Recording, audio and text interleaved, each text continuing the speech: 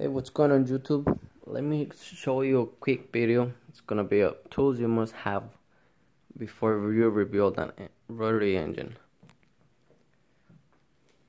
One of the main ones. This is the stuff I have here. A home. What we have here. Do you guys know what this is? This is a torque. Mine is digital from Snap-on. You give it 4 ton, new meter tons. Give it pounds. Some must have. You have to have this so you can torque every bolt. So you need a torque. The feeler gauge set.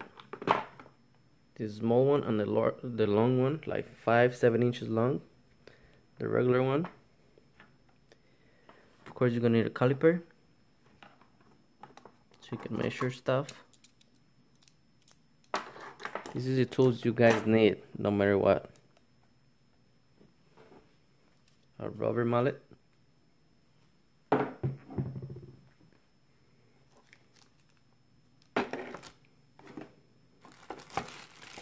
you guys already know what this is. This is a magnetic dial gauge. Magnetic with the magnetic base. It comes with a little clock. If anyone wants a description from Amazon or anything, let me know. I can send you a link or I can post the link. Just leave a comment below. If you're gonna do some porting, you're gonna port. You need eye protection. You can also find this on Amazon. So this is the most thing, the, the tools you must have. This is that you have to, like you have to. This is for your engine is assembled. You check the end plate. You can get it from Amazon like I think like 35, 30 bucks, 35, 30 bucks. Feeler gauge also for Amazon too. You can get them there like like is in 15, 20. This is from Mac. This is going to be a little more pricey. We can get any other brand. So this is the tools you need. Now we're going to go ahead some slideshow. Slide pictures with um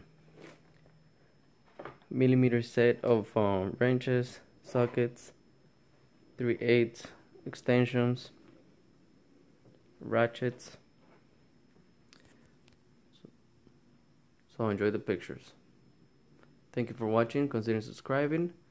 This one um, on my new channel, JMG underscore garage. JMG underscore garage. Thank you for watching.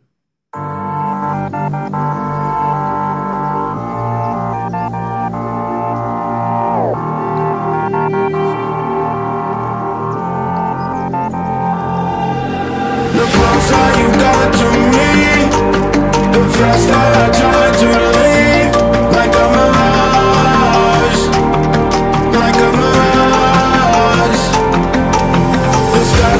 know.